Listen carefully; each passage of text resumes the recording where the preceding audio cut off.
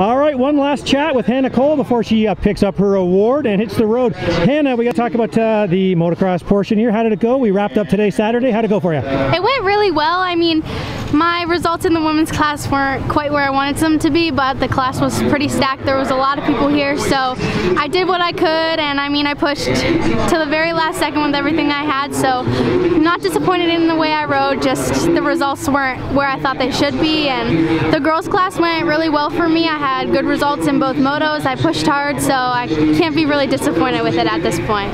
Nice. Okay, a couple things I want to touch on. I know, so the uh, women's class versus the girls' class, uh, bike size and everything, this track, everybody I've spoken to has said this was like the gnarliest, roughest track they've ever ridden. What was it like on the little bike out there for you? Yeah, going from like the big bike with the bigger tires and the it just it was different and it was hard, but I mean, I just had to kind of put that aside and not really think about it and just go out there and do what I came here to do. And I mean, switching back and forth is harder, and especially going on a much rougher track on a way smaller bike isn't easy, hmm. but I did it and we made it work.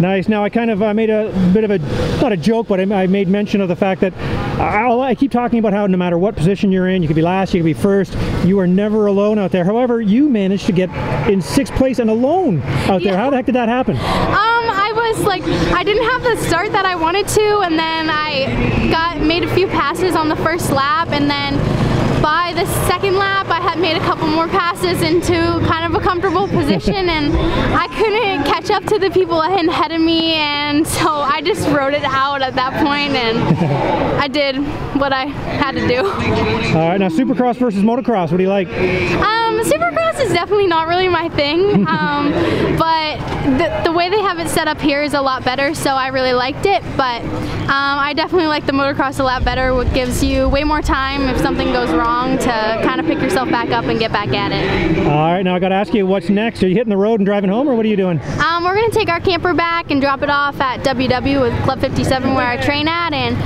um, I'm gonna fly home and then I'll be back down in a few weeks or so to do some more training and some more riding and get ready for Loretta's qualifiers and stuff like that. Wow, that's awesome. We've got Canadians sprinkled all over Florida here. You'll probably, will you stay down to some winter rams as well or what? Um, not sure yet. Um, I might catch a few of them, but yeah, we're not 100% on the plan yet, but I will be back down to do like some training and stuff before before the summer for sure. All right, now you said you're getting ready for uh, some Loretta's qualifiers and everything, but uh, what about next summer in Canada?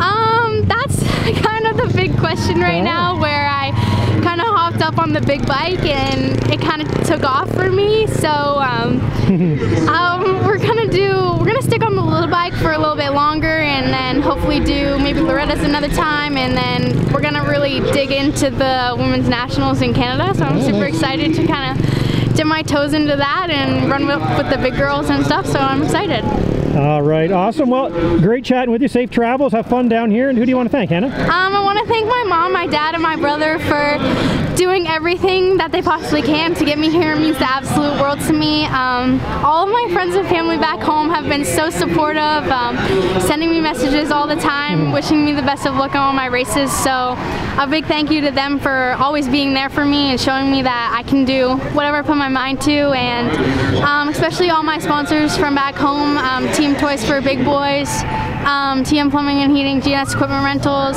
um, Factory Connection, FMF, Hinson, um, Easy Clean, and everyone else that helps me. Thank you so much.